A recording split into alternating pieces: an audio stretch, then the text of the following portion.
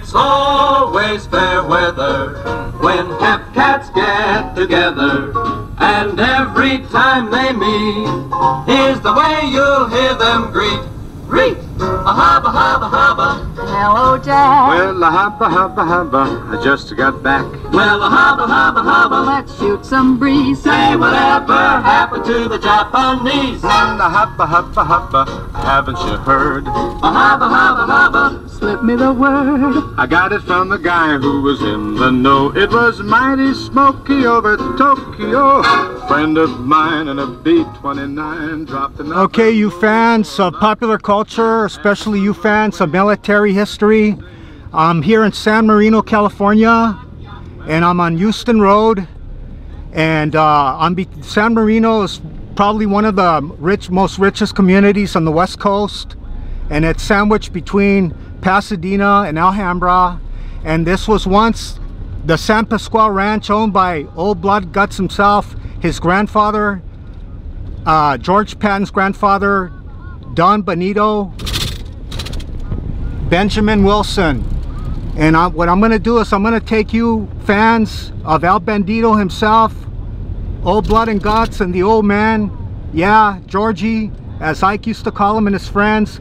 I'm going to take you to the house where he grew up, where actually where his house once was. And his, while he was at the uh, West Point Academy, his dad tore out the original house and he built this uh, house that's still standing extant original condition the day he rebuilt it his father George Smith Patton in 1910 and if you can believe it this was a house that George Georgie inherited when his father died and he used to uh, he used to have his friends old Blackjack Pershing and General Doolittle. He used to entertain him here. He was a very wealthy man George Patton the one of the greatest generals of World War II if not of all time. One of the most aggressive offensive generals to do battle one of the most aggressive in World War II and uh, if it wasn't for George Patton most likely the war wouldn't have ended as soon as it did. And here we are. We're at Patton uh, Court. And like I said th this was the house that his sister Anne lived in until 1971 until she died. Here it is. You fans of old blood and guts fantastic. And they said that at that time when it was built there was once a uh, brick walkway that straddled this hill that we just came up all the way to Houston uh, road down there. And uh, this was part of the land that his father and his mother Ruth Wilson the daughter of uh, Don Benito he uh, he gave them this house or this area right here where Georgie Patton grew up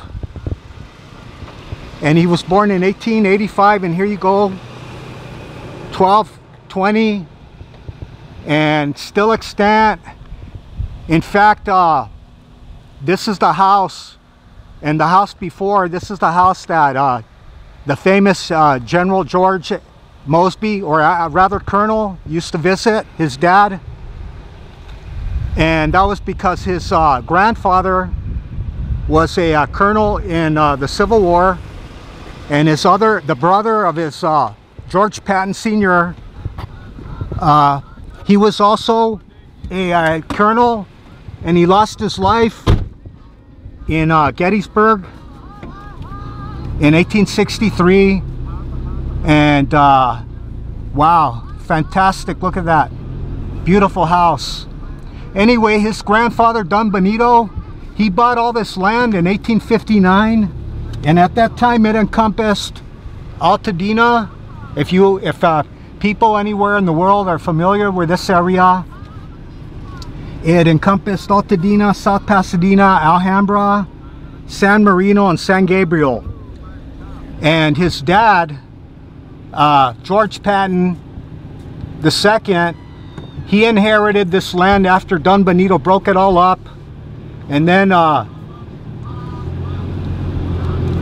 he broke it up because of the high taxes Don Benito And uh, the only uh, bit of land that was left was 2,000 acres, and there was a lake down there called Lake Vineyard. Actually, this area was called Lake Vineyard because when Don Benito built his house here in the 1850s, he was uh, actually he came out west in the 1840s, and he married a really rich, uh, what they call well, he was a Mexican ranch, uh, huge ranch owner named Ber- Bernardo Yorba, and he married her his daughter Ramona, and he had one daughter with Ramona Don Benito, and that would have been uh, George Patton's sec- uh, step step aunt, and uh, they had one daughter. Her name was Maria de Jesus Shorb, because uh, Ramona she married uh, a Mr. Shorb. Anyway, they had 12 children. Those were his cousins. So uh, George Patton he grew up speaking Spanish. In fact, his one of his best friends that uh, he hung out with was a fellow named uh, Ignacio Nacho Callahan. And he said in a 1967 interview that him and Georgie, they used to uh, let go the mules and the horses for kicks down here in all this land that what, what which they owned. And then of course uh, the father, George Patton, the second, he would come on tell them, hey, you guys got to round up all those ponies and all those uh, horses and mules, he told them.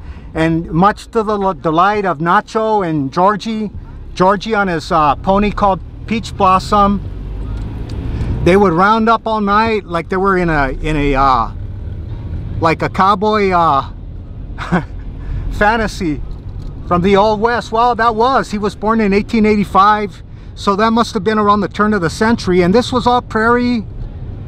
And you're taking a look at the land, like I said, owned by first Don Benito, and then he willed it to uh, his daughter Ruth, and then uh, they had George, George Patton Jr., who became Old Blood and Guts, the general of the Third Army in World War II, and then his sister Ann. She never married, but like I said, she lived in uh, that house.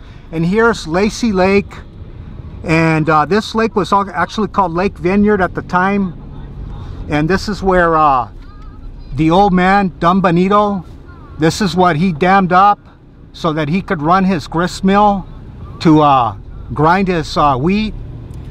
And this, this would have been all the fields, the alfalfa fields where uh, Nacho once said that when there were kids roaming this land, all this open prairie right here, this was the land where uh, Nacho said him and Georgie would play uh, polo and the alfalfa right here.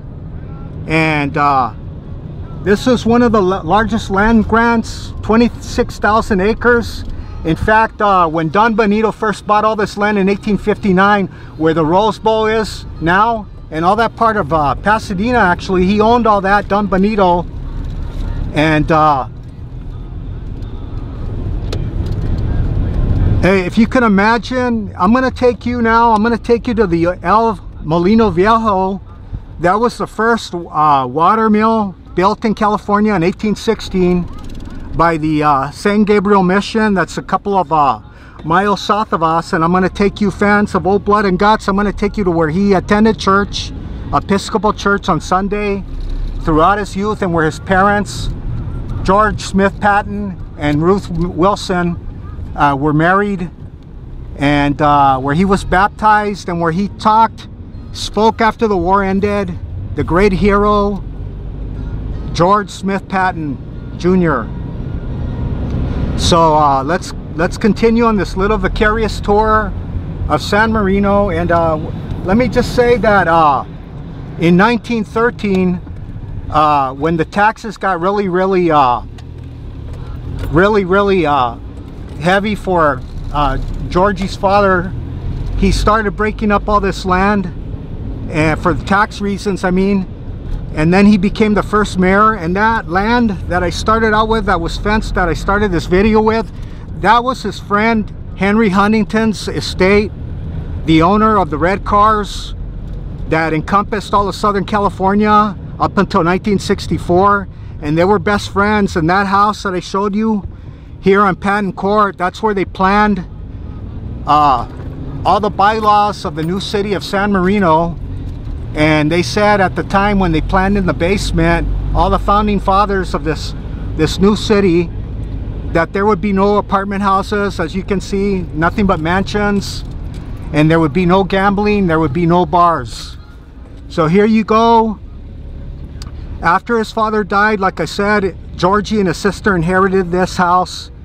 And off and on through the 20s until he died, Georgie would come and like I said, bring his friends, high-ranking generals, a lot of uh, politicians,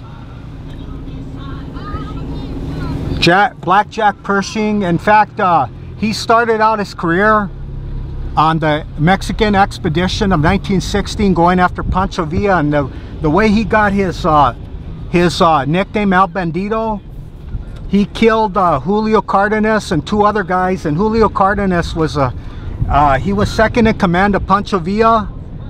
And uh, two of his men Georgie shot dead and that's how he got his name El Bandito so uh, okay well I, I wanted to also do this video because as we speak there's only a million left of the 60 million soldiers of World War II approximately 855,000 uh, soldiers still alive from that horrific war and as we speak 492 die a day so I wanted to get this for posterity. And so uh, maybe a few fellows that are still left remembering fo following old Georgie throughout northern France until the borders of uh, Lorraine and the Saarland and the 81,000 square uh, miles of land that they that they uh, that they freed up from uh, from the Wehrmacht. And uh, okay wow thank you. Fantastic. My uncles too. If you hope you watch this video thank you for your service in that horrific war serving in the South Pacific and Northern Europe and my other uncle who served in the Navy in the South Pacific okay. And of course George General George Patton and here's Lacy Lake. That was once Lake Vineyard that I said that uh, Nacho said that Georgie and him used to swim in as kids because that was the land that his his grandfather Don Benito uh, that his his dad gave to his uh, son-in-law George Smith Patton II and so now I could I would have driven into that park but they made it now into more like a walking park. So uh, in fact they said that it was uh, when it dried up somewhere in the 19 I guess the teen era of the 20th century they filled it in with the dirt the excavation dirt that they were pulling out while they were building Caltech uh, California Institute of Technology okay so let's go to El Molino Viejo and please subscribe to my channel and thank you to all the soldiers of the Third Army and all the of course all the men who fought in that horrific war in World War II and Georgie, General George Penn, wherever you're at, good night, sweet prince. Hubba, hubba, hubba, mama. Well, now you're really talking. You're no square. You can't be from Weehawken. Mm-mm, Delaware. You can't line a jive that's really zoo. Well, I'll dig you later, baby. You're all root. Da, da,